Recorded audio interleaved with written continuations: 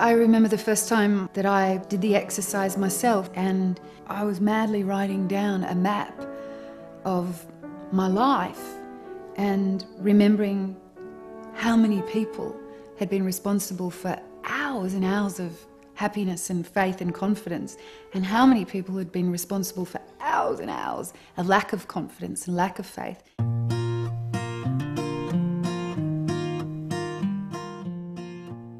By writing these people down, I saw this girl that had bullied me here and this guy that hadn't liked me here, and suddenly they were just wee names on this piece of paper. And I saw that way too much time had been taken up trying to work through why these people hadn't got me or hadn't liked me, and I could suddenly let go of that. And that was. Um,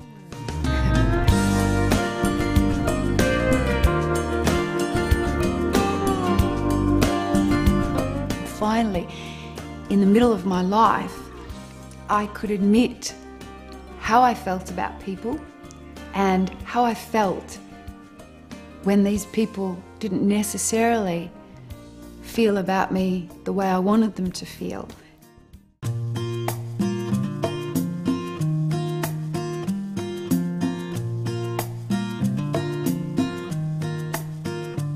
You get to express yourself on paper, and from that, the liberty and the freedom with which you can enter your days and look at the people around you without all the baggage is um, fantastic.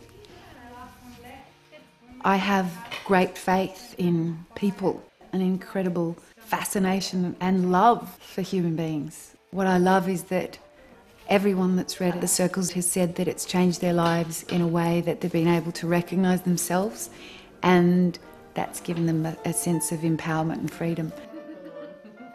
In writing the book, I realised that this might be a path for some people back towards happiness and self worth. Life is short and it can be really wonderful as long as you let go of all the garbage, as long as you untie the knots.